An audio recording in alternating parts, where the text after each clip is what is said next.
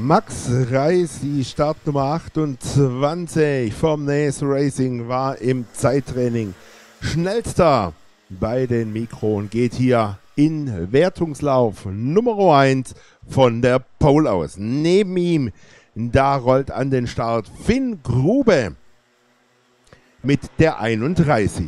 In der zweiten Startreihe sehen wir mit der 81 vom Beulekart Racing Team Enrico Förderer und die 22 Tom Muller, ebenfalls ein Starter des NES Racing Teams.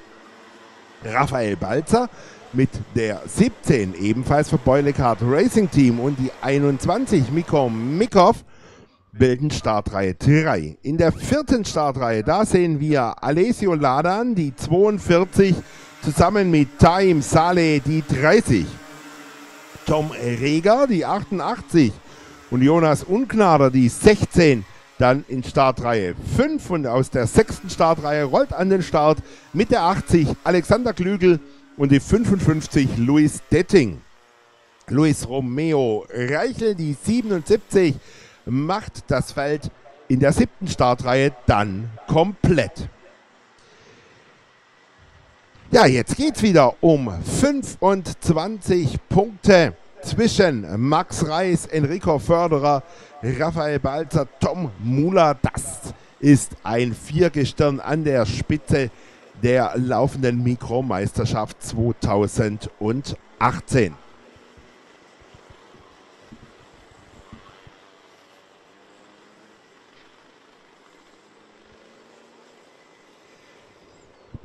Max Reis, der in Karpen seinen ersten Laufsieg in der RMC herausfahren konnte, hat 117 Punkte auf seinem Konto. Enrico Förderer, der bereits drei Siege auf seinem Konto hat, hat 115 Punkte.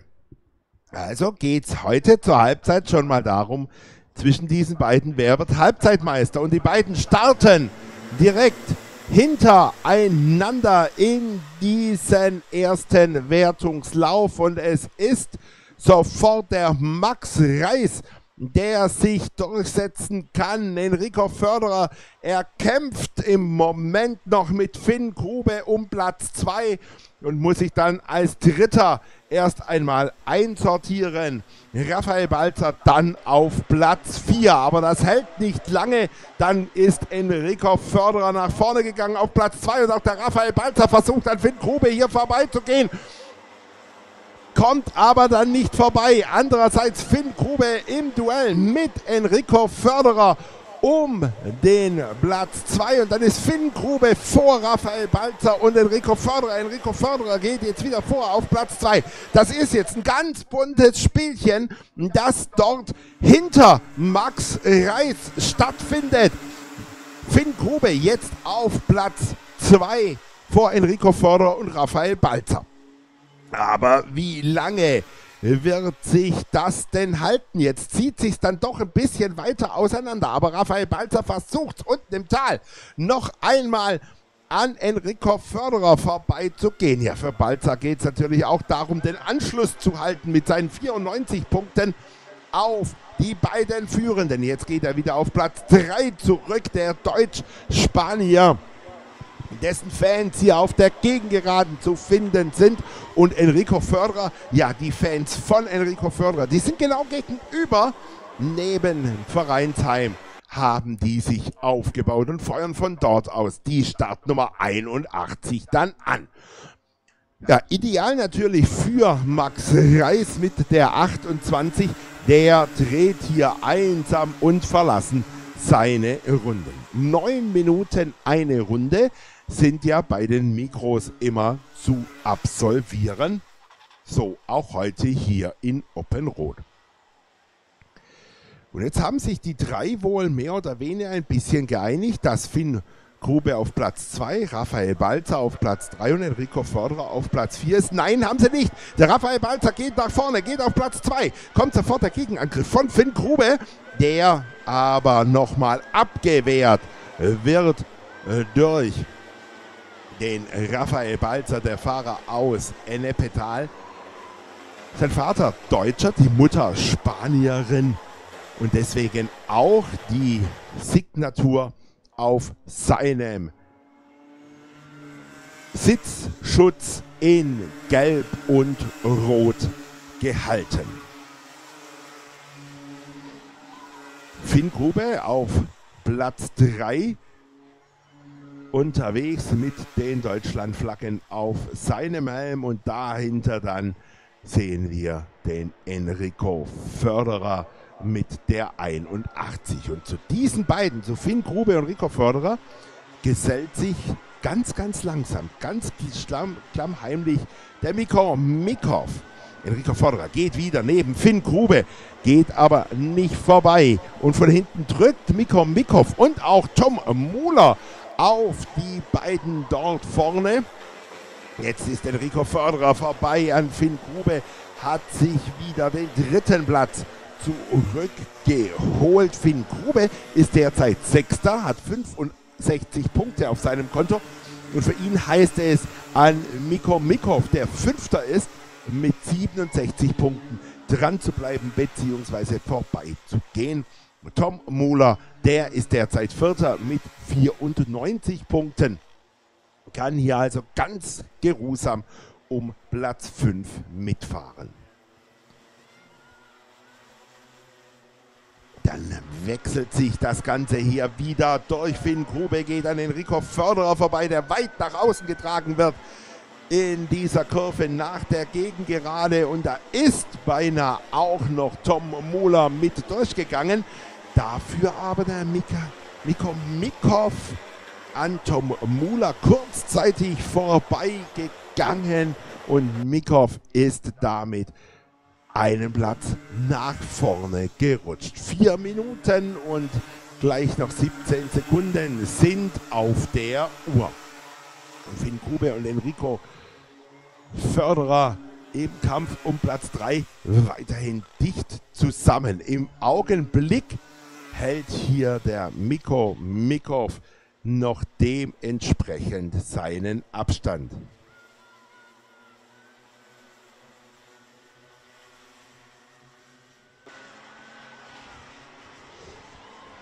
Versucht aber weiterhin dran zu bleiben. Der Fahrer aus Wiesloch mit der Startnummer 21. Der zweite des BW Kart Cups aus dem vergangenen Jahr. Hier auf seiner Lieblingsstrecke ist der bald elfjährige jetzt unterwegs. Da kommt die Technikflagge für die Startnummer 80. Das ist der Alexander Klügel, der einen technischen Defekt hat. Das heißt, er kann rausfahren, muss das reparieren lassen, darf danach wieder auf die Strecke gehen. Also Alexander Klügel mit technischem Defekt hier unterwegs. Und wir schauen mal, ob wir können können was dieser technische Defekt denn ist.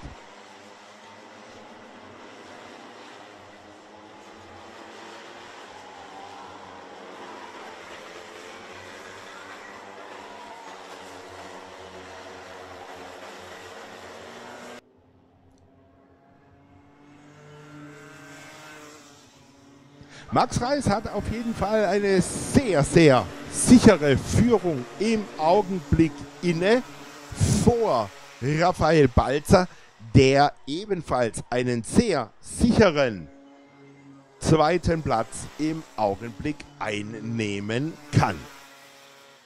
Und das würde bedeuten, in der Meisterschaft würde Max Reis erstmal sich lösen von Enrico Förderer, der hier als Dritter 16 Punkte erhält, neun weniger als Max Reis.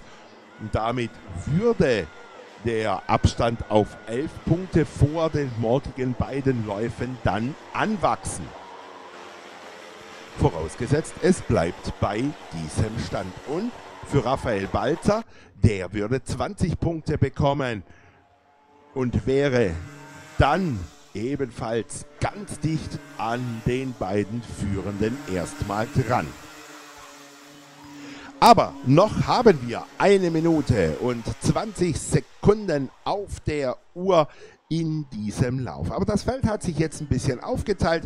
Auch diese Vierergruppe hinter Balzer mit Enrico Förderer, mit Finn Grube, mit Miko Mikov und Tom Muller hat sich jetzt schon ein bisschen sortiert.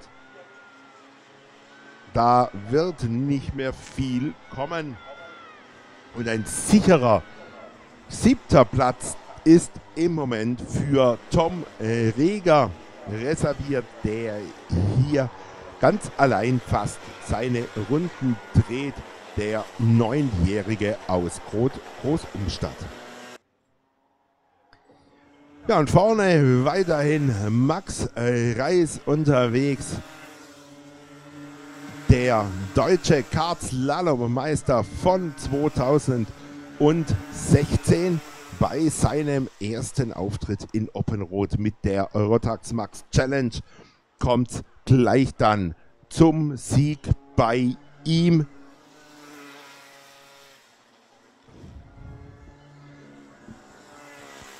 Um Platz 8, 9 und 10, da wird ebenfalls noch hart gefeitet zwischen Alessio Ladan, zwischen Jonas Ungnader und Time Saleh. Wenn es gleich in die letzte Runde gehen wird, Max Reis also jetzt mit einer Führung von ja, fast drei Sekunden, wenn nicht sogar über drei Sekunden Führung jetzt für Max Reis. Schauen wir mal uns das an. Jawohl, 3,1 Sekunden vor Raphael Balzer ist er unterwegs. Ja, und da werden auch schon die spanischen Flaggen geschwenkt bei seinen Fans im Augenblick für Raphael Balzer, der hier als Zweiter aus diesem Wertungslauf kommen wird. Dahinter auf jeden Fall auf Platz 3 Enrico Förderer. Auch der wird sich das nicht mehr nehmen lassen. Auf diesen letzten Meter wird Dritter werden vor Finn Grube. Aber Tom Muller und Mika Mikov da ist das letzte Wort noch nicht gesprochen. Die sind noch nicht zusammen, während vorne jetzt Max Reis gewinnt. Vor Raphael Balzer, der die Arme hochreißt, der jubelt über seinen zweiten Platz für Raphael Balzer, wie bereits in Kerpen, als er Dritter, Zweiter und zum Schluss Sieger wurde. Dort in Karpen hat er auch sein erstes Rennen gewonnen.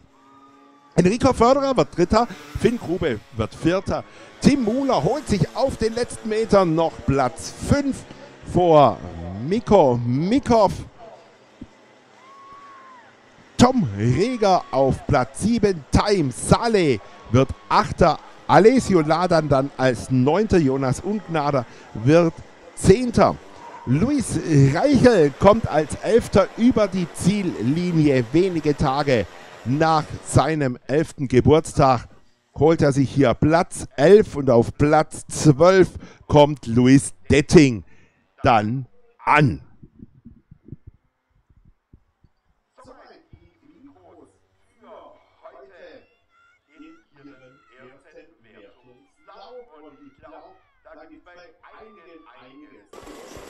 Ja, da sehen wir das Ergebnis noch einmal. Max Weiß vom Nes Racing Team, er gewinnt vor Raphael Balzer und Enrico Förderer, beide vom Beulekart Racing Team.